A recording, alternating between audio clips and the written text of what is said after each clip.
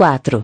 A jactância da carne. O outro lado da carne. Existem só as obras da carne que mencionamos até agora, ou há outras obras carnais? Os pecados da carne que temos feito notar até aqui são as paixões do corpo humano. Mas agora devemos fixar nossa atenção em outro aspecto da carne. Recordarão que, anteriormente afirmamos que a carne consiste nas obras da alma, assim como também as paixões do corpo. Até agora só falamos sobre a parte do corpo, deixando quase sem tocar a parte da alma.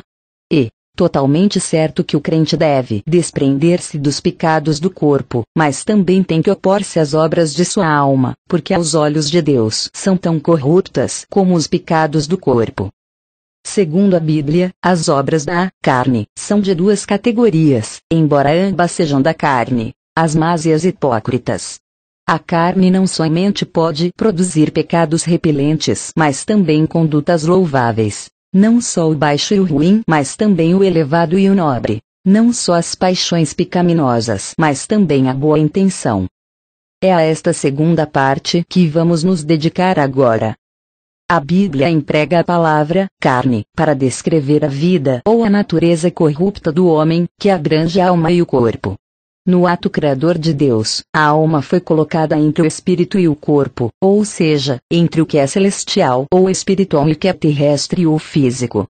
Seu dever é administrá-los de acordo com a função de cada um, conforme sua adequação, mas mantendo-os intercomunicados, para que, por meio desta perfeita harmonia, o homem possa finalmente alcançar a plena espiritualidade. Desgraçadamente, a alma cedeu à tentação que surgiu dos órgãos físicos, escapando assim da autoridade do espírito e aceitando o controle do corpo. Em consequência, a alma e o corpo ficaram unidos para ser a carne. A carne não só está livre do espírito, mas também é totalmente contrário ao espírito. Por isso a Bíblia afirma que a carne luta contra o espírito Gálatas 5:17.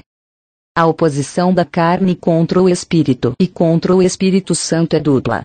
1. Um, pecando, se rebela contra Deus e infringe a lei de Deus, e 2. Fazendo o bem, obedece a Deus e segue a vontade de Deus.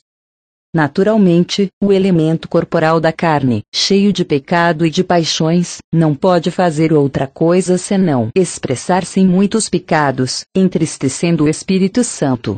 A parte da carne que é a alma, no entanto, não está tão poluída como o corpo. A alma é o princípio de vida do homem. É seu eu próprio, e consta das faculdades da vontade, da mente e da emoção. Do ponto de vista humano, as obras da alma podem não ser todas más. Simplesmente se centram no pensamento, na ideia, no sentimento e nas preferências e aversões da pessoa. Embora todos estes se concentrem no eu, não são necessariamente pecados poluentes. A característica básica das obras da alma é a independência ou autodependência. Embora a parte da alma não esteja tão poluída como a parte corporal, mesmo assim é contrário ao Espírito Santo. A carne põe o eu no centro e leva a vontade própria acima da vontade de Deus pode servir a Deus, mas sempre segundo sua ideia, não segundo a ideia de Deus. Fará o que seja bom a seus olhos. O eu é o princípio que está detrás de cada ato.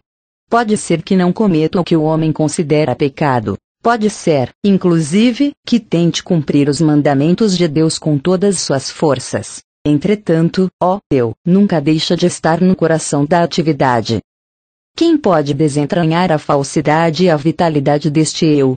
A carne não só se opõe ao espírito, pecando contra Deus, mas também tentando servi-lo e agradá-lo. Opõe-se ao Espírito Santo e o apaga, apoiando-se em sua própria força, em vez de confiar por completo na graça de Deus e deixar-se levar pelo Espírito. Podemos encontrar muitos crentes ao nosso redor que, por natureza, são bons, pacientes e afetuosos, Agora bem, o que o crente odeia é o pecado. Em consequência, se pode livrar dele das obras da carne descritas em Gálatas 5, versículos 19 a 21, então se sente satisfeito. Mas o que o crente admira é a justiça. Em consequência, se esforçará em agir corretamente, desejando possuir os frutos de Gálatas 5, versículos 22 e 23. Entretanto, o perigo se encontra aqui, porque o cristão não chegou a aprender a aborrecer a sua carne em sua totalidade. Deseja simplesmente livrar-se dos pecados que surgem dela. Sabe como resistir um pouco às ações da carne, mas não vê que a própria carne, em sua totalidade, deve ser destruída. O que o engana é que a carne não somente pode produzir pecado, mas também pode fazer o bem. Se ainda fizer o bem, é evidente que ainda está viva. Se a carne tivesse morrido definitivamente, a capacidade do crente de fazer o bem e de fazer o mal teria morrido com ela. Uma capacidade para operar coisas boas mostra que a carne ainda não morreu. Sabemos que os homens originalmente pertencem à carne. A Bíblia ensina claramente que não há ninguém no mundo que não seja da carne, posto que todo pecador nasceu da carne. Mas, além disso, reconhecemos que muitos, antes de nascer de novo, e inclusive muitos que em toda sua vida nunca acreditaram no Senhor, fizeram e continuam fazendo muitas coisas louváveis. Alguns parecem ter nascido com o dom da amabilidade, da paciência ou da bondade. Observem o que o Senhor diz a Nicodemos, João 3, 6. Apesar desse homem ser bom por natureza, mesmo assim o considera da carne. Isto confirma que a carne pode deveras fazer o bem. Na carta de Paulo aos Gálatas, vemos outra vez que a carne pode fazer o bem. Havendo começado com o espírito, estão terminando com a carne. 3, 3. Os filhos de Deus na Galácia haviam caído no engano de fazer o bem com a carne. Tinham começado no Espírito Santo, porém não continuaram assim para serem feitos perfeitos. Em vez disso, quiseram aperfeiçoar-se por meio de sua justiça, da justiça segundo a lei. Por isso o apóstolo lhes fez semelhante pergunta: se a carne dos crentes gálatas só tivesse podido fazer o mal, Paulo não teria que fazer uma pergunta assim, posto que eles mesmos saberiam de sobra que os pecados da carne não podiam aperfeiçoar em modo algum o que se começou com o Espírito Santo. Que desejassem aperfeiçoar com sua carne o que o Espírito Santo havia iniciado mostra que para alcançar uma posição perfeita dependiam da capacidade de fazer o bem de sua carne. Realmente tinham tentado fazer o bem com grandes esforços, mas o apóstolo nos mostra aqui que as boas ações da carne e as obras do Espírito Santo são dois mundos distintos. O que uma pessoa faz com a carne o faz ela mesma. Jamais se pode aperfeiçoar o que Espírito Santo começou no capítulo anterior. Pudemos encontrar o apóstolo dizendo outra coisa importante sobre o mesmo tema mas se torno a edificar aquilo que derrubei, constituo-me a mim mesmo transgressor 2 e 18. Assinalava-as que, tendo sido salvos e tendo recebido o Espírito Santo, ainda insistiam em conseguir a justiça segundo a lei, vs. 16, 17, 21, por meio de sua própria carne. Fomos salvos por meio da fé no Senhor e não por meio de nossas obras. Isto é o que se referia a Paulo com as coisas derrubadas. Sabemos que sempre tinha lançado por terra as obras dos pecadores, considerando estas ações sem absolutamente nenhum valor na salvação de uma pessoa. Se fazendo bem tentamos voltar a construir essas coisas que tínhamos destruído, então, segundo Paulo, demonstramos que somos transgressores. O apóstolo nos está dizendo que, da mesma maneira que um pecador não pode salvar-se por seus próprios esforços, do mesmo modo os que fomos regenerados não podemos ser aperfeiçoados por meio de nenhuma boa ação de nossa carne. Que inúteis continuam sendo essas ações. Romanos 8 sustenta que os que estão na carne não podem agradar a Deus. V. 8. Isto implica que os carnais tentaram agradar a Deus, embora sem êxito. Certamente, isto se refere especificamente às boas ações da carne que fracassam por completo em agradar a Deus. Agora, vamos conhecer, em profundidade, precisamente o que a carne pode fazer. É capaz de realizar boas ações, de fazê-las com competência, Frequentemente concebemos a carne sob o aspecto de suas paixões e concupiscências, e por conseguinte a consideramos categoricamente poluída, sem ver que compreende mais que o aspecto das paixões. Mas as atividades das variadas faculdades da alma não têm por que ser tão poluídas como as paixões. Além disso, a palavra paixão, tal como às vezes é utilizada na Bíblia, não tem nenhum sentido de contaminação, como, por exemplo, na luta da carne, com paixão, contra o espírito, e do espírito contra a carne em Gálatas 5,17. Vemos que o espírito também tem paixão, contra a carne. Neste exemplo, paixão simplesmente transmite a ideia de um desejo intenso, tudo o que uma pessoa é capaz de fazer antes da regeneração simplesmente é um resultado dos esforços da carne. Por isso pode fazer o bem, como também pode fazer o mal. O engano do crente reside precisamente aqui, em que só sabe que o mal da carne deve ser destruído, mas ignora que tem que acontecer o mesmo com o bem da carne. Desconhece que a virtude da carne é da carne tanto quanto a sua maldade. A carne permanece sendo carne, seja boa ou seja má.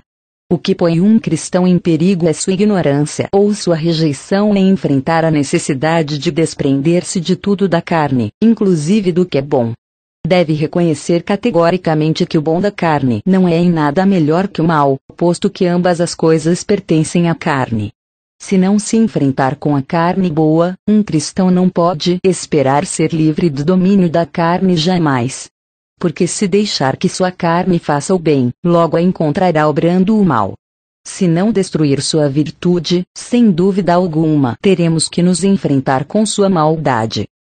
A natureza das boas obras da carne. Deus se opõe à carne energicamente porque conhece por completo sua condição autêntica. Deseja que seus filhos se libertem por completo da velha criatura e experimentem plenamente a nova, Seja boa ou má, a carne ainda é carne. A diferença entre o bem que provém da carne e o bem que surge da nova vida é que a carne sempre tem eu no centro. É o meu eu que pode fazer, e faz, o bem, sem necessidade de confiar no Espírito Santo, sem necessidade de ser humilde, de esperar em Deus, de orar a Deus posto que é eu quem quer, penso e faço sem necessidade de Deus, que, em consequência, considero o quanto melhorei, à altura que cheguei com meu próprio esforço, então não é inevitável que eu me atribua a glória? É evidente que estes atos não levam as pessoas a Deus. Em vez disso, enchem o eu. Deus quer que todos venham a Ele num espírito de absoluta dependência, totalmente submissos a seu Espírito Santo e esperando humildemente nele. Algo bom da carne que gira em torno do eu é uma abominação aos olhos de Deus, porque não procede do espírito de vida do Senhor Jesus, mas sim do eu, e glorifica o eu. O apóstolo afirma solenemente em sua carta aos Filipenses que ele não põe sua confiança na carne 3, 3. A carne tende a ser confiante em si mesma. Como são tão capazes, os carnais não precisam confiar no Espírito Santo. Cristo crucificado é a sabedoria de Deus, mas quanto um crente confia na sua própria sabedoria. Pode ler e pregar a Bíblia, pode escutar e acreditar a palavra, mas faz tudo com o poder de sua mente, sem a mínima necessidade de depender totalmente da instrução do Espírito Santo. Em consequência, muitos acreditam possuir toda a verdade, quando simplesmente conseguiram o que têm escutando outros ou estudando a Bíblia. O que é do homem ultrapassa em muito o que é de Deus. Não tem o coração aberto para receber sua instrução ou para esperar no Senhor, que ele lhes revele sua verdade em sua luz. Cristo crucificado também é o poder de Deus. Mas quanta confiança em si mesmo há no serviço cristão. Realizam-se mais esforços em planejar e em preparar, do que em esperar no Senhor. Dedica-se, o dobro de tempo a preparar a exposição e a conclusão de um sermão do que a receber o poder do alto. Mas todas estas obras são mortas aos olhos de Deus, não pelo fato de que não se proclame a verdade, ou que não se confesse a pessoa e a obra de Cristo, ou não se busque a glória de Deus, mas sim pela confiança na carne, Quanta ênfase colocamos na sabedoria humana e nos esforçamos por achar argumentos satisfatórios em nossas mensagens, e como procuramos ilustrações apropriadas e outros meios variados para comover, e empregamos sábias exortações para induzir os homens a que tomem decisões. Mas onde estão os resultados práticos? Até que ponto confiamos no Espírito Santo e até que ponto confiamos na carne? Existe mesmo algum poder na velha criatura que possa capacitar as pessoas a herdar algo na nova criatura?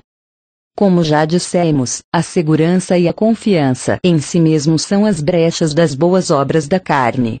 Para a carne é impossível descansar em Deus. É muito impaciente para tolerar qualquer demora. Enquanto se considerar forte, nunca confiará em Deus. Ponto mesmo nos momentos de desespero, a carne continua fazendo planos e procurando uma saída. Nunca tem a sensação de dependência total. Isso pode ser uma indicação para o crente saber se uma obra é ou não é da carne. Tudo o que não for resultado de esperar em Deus, de confiar no Espírito Santo, é da carne sem dúvida alguma. Tudo o que, uma pessoa decide segundo seu critério em lugar de procurar a vontade de Deus, surge da carne. Sempre que há ausência de uma confiança absoluta, isto é obra da carne. Agora entendam, as coisas que se façam podem não ser más ou equivocadas, de fato podem ser boas e piedosas, como ler a Bíblia, orar, adorar, pregar, mas se não são feitas num espírito de total confiança no Espírito Santo, então tudo é obra da carne. A velha criatura está disposta a fazer qualquer coisa, inclusive submeter-se a Deus, contanto que se lhe permita viver e permanecer ativa. Por muito boas que possam parecer as ações da carne, ó, eu, oculto ou visível, sempre aparece no horizonte. A carne jamais admite sua debilidade nem reconhece sua inutilidade. Inclusive, embora se evidencie seu fracasso até o ridículo, a carne continua acreditando firmemente em sua capacidade. Tendo começado com o espírito, terminarão com a carne. Isto põe à vista uma grande verdade. Uma pessoa pode começar bem, no espírito, e mesmo assim não continuar por esse caminho. Nossa experiência confirma o fato da relativa facilidade com que uma coisa pode começar no espírito mas terminar na carne. Frequentemente ocorre que o espírito comunica uma verdade e que, apesar disso, em pouco tempo esta verdade se converte em uma jactância da carne. Os judeus cometeram este mesmo engano, com que frequência, quando se trata de obedecer ao Senhor, de negar de novo o eu, de receber poder para salvar almas, uma pessoa pode confiar seriamente no Espírito Santo no início, mas, em pouco tempo, esta mesma pessoa converte a graça de Deus em sua própria glória, considerando o que é de Deus como se fosse dele. Ocorre o mesmo com nossa conduta. Por meio da obra do Espírito Santo há, no princípio, uma poderosa transformação na vida de uma pessoa, que faz que ame o que antes odiava e que odeia o que antes amava. Entretanto, pouco a pouco o eu começa a introduzir-se sorrateiramente. A pessoa interpreta cada vez mais estas mudanças como êxitos próprios e chega a admirar-se ou se torna indiferente gradualmente atua segundo eu em lugar de confiar no Espírito Santo. Há milhares de coisas na experiência do crente que começam bem, no espírito, mas que desgraçadamente terminam na carne. Porque muitos filhos queridos de Deus procuram desejosos uma consagração absoluta e desejam impacientes mais vida abundante e apesar disso fracassam. Frequentemente, ao escutar as mensagens, ao conversar com pessoas, ao ler livros espirituais ou orar em privado, o Senhor lhes dá a conhecer que é perfeitamente possível ter uma vida de plenitude no Senhor. Os faz perceber a simplicidade e a beleza de uma vida semelhante e não veem nenhum obstáculo em seu caminho que os impeça de consegui-la. Verdadeiramente experimentam uma bênção, poder e glória como nunca antes. Oh, que maravilhoso! Mas ai! Logo se desvanece. Por quê? Como?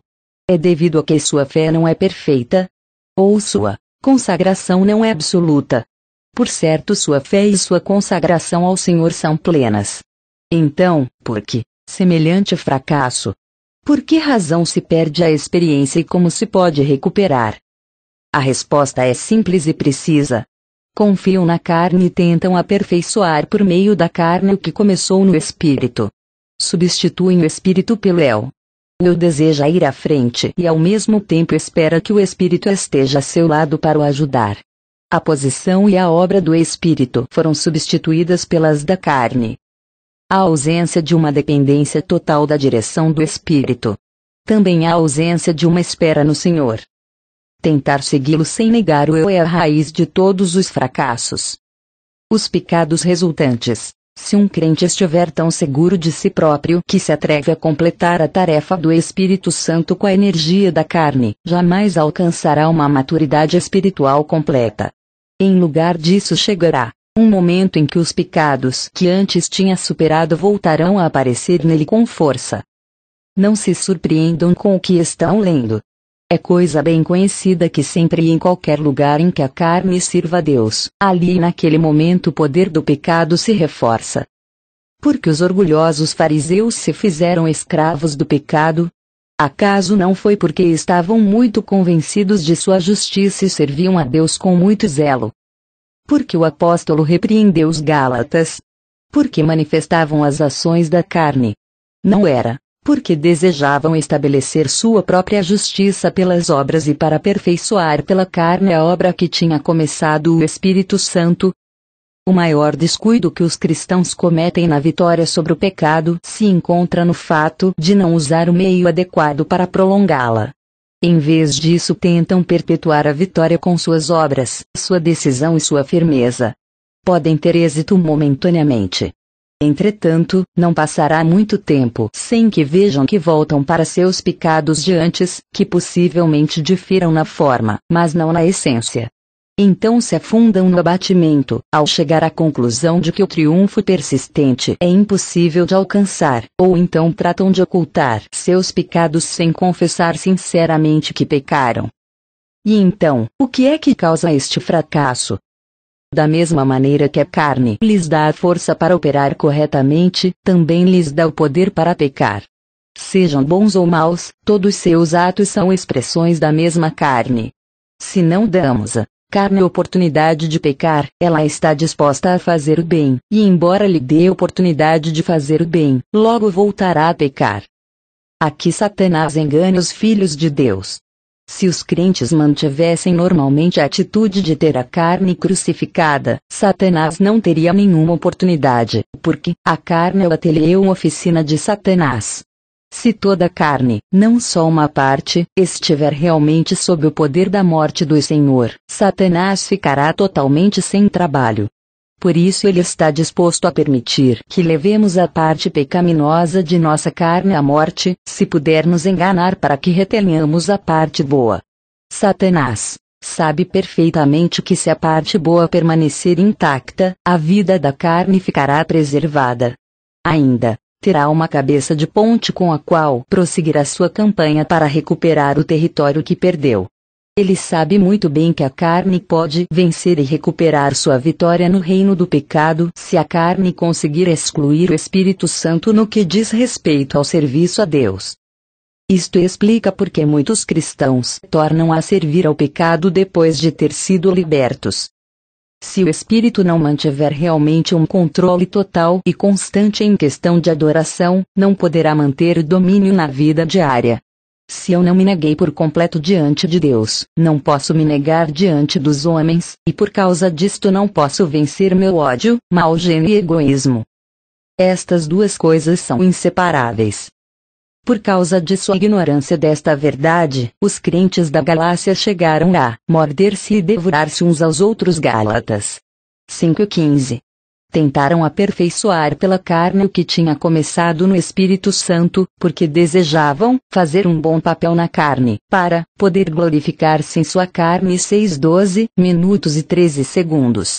Evidentemente, seus êxitos em conseguir fazer o bem com a carne eram muito escassos, enquanto que seus fracassos em vencer o mal eram numerosos. Não percebiam que, enquanto servissem a Deus com suas forças e suas ideias, indubitavelmente serviriam ao pecado na carne. Se não proibiam a carne que fizesse o bem, não podiam impedi-la de que fizesse o mal.